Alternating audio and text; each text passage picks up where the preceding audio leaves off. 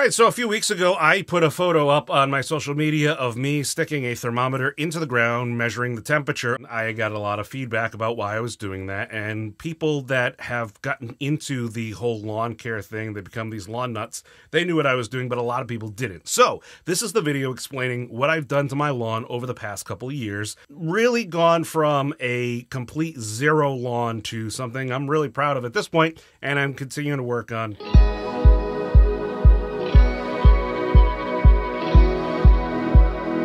Little bit of a history. I bought the house in 2006 and I did absolutely nothing, if anything, very, very little with the lawn. I kind of just left it as it was. The property line in the back of the yard was kind of creeping further and further into the yard, making the yard smaller, which I'll be honest, I thought it was a good idea because it was making it less for me to mow when I actually would mow. When I got married, my wife actually did some work in the back and extended my yard by about 15 feet just by clearing out brush and shrub that had just really overtaken it. For the most part, the yard wasn't really grass, it was more weeds and grass, green stuff growing. There's even some stuff like if you touched it, you'd get a bit of a rash and itch and scratch. It was not good. It wasn't poison ivy, it wasn't poison oak or anything. It was just like this weird Aside from what my wife did on the back line, I really hadn't done much to kind of improve the property, the look, the aesthetics of it, and whatnot. I just kind of maintained. In 2019, we went ahead, we paved the driveway, replaced the front steps and landing, and we replaced the walkway with some nice pavers, changed the layout of it. And that was going to be kind of the first step, and I was going to start to, you know, slowly, a little bit here and there, do things. Now, up until this point, I had started watching some videos from Grass Daddy, from Ryan Knorr, from some of those other people, and but let's be honest,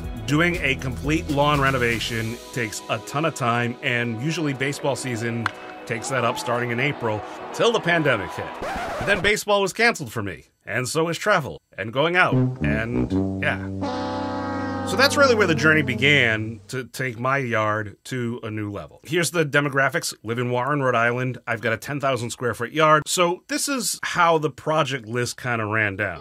In March of 2020, I rented a stump grinder and I ground out the stumps that were in the yard in the back and the side. Then we got into April, and that's where all the really fun stuff really started happening. I rented a sod cutter and I sod cut the entire grass. I did it about an inch and a half deep, maybe two inches in some areas, because I wanted to get all that crap, those weeds, that weird stuff I couldn't identify. I wanted it gone. Then we got a jackhammer and we jackhammered down these massive boulders where the top of the boulders were near the surface. We jackhammered them to about to 10 inches below the top layer there. That required some significant effort. That was a backbreaker. That was, yeah, that was fun. We got on the schedule to have some dirt delivered and graded, and in the meantime, we had rebuilt the front gardens, changed the shape of them, redid the look, and then we brought in about 64 yards of really nice screen dirt. I had a company come in with the Bobcat just to spread it, level it off, grade it as best as possible. From there, I ordered seed from Seed Superstore. Their Sun Mix, perfect for this area. I talked to Drew Kinder and their people. They were awesome. I went with Kentucky Bluegrass,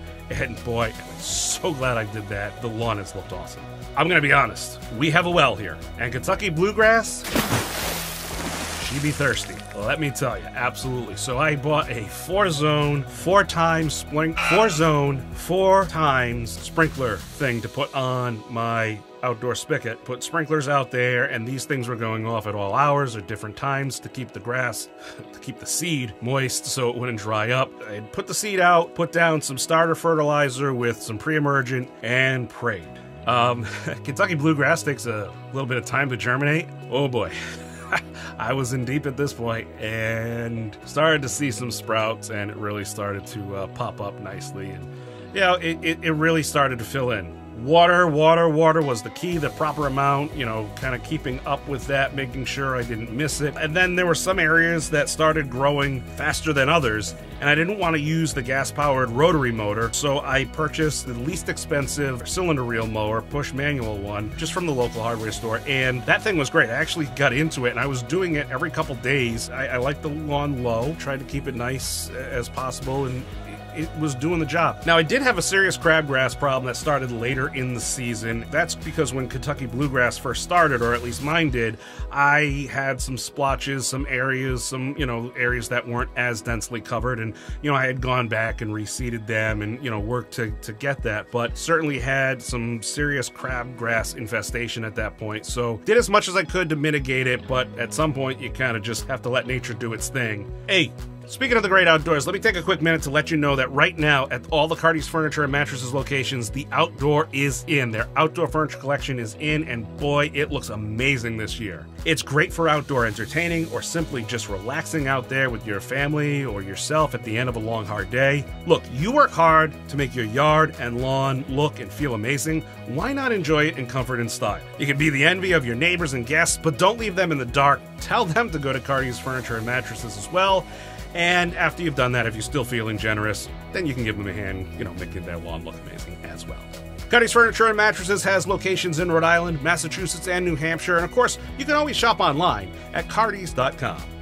As the summer went on, the Kentucky bluegrass, the whole lawn, really started to tighten up to what I thought was pretty good. Now it's about September 2020. We had a fairly hot summer, and once September rolled around, we started getting those late summer cooler evenings, those temperature cool offs and whatnot. I saw the lawn really kind of take off again, really started to thicken up, but that was completely, completely accelerated when I rented the plug aerator machine. Now, I have a confession. I don't know where the video is of me doing the plug area, but I poked a lot of holes in my yard. I did it a day after it had rained, so the ground was nice and moist, and the cores came up. They looked great. A week later, I'm not kidding you, it started to take on the look of a beautiful carpet out there, just a nice canopy layer of beautiful Kentucky bluegrass.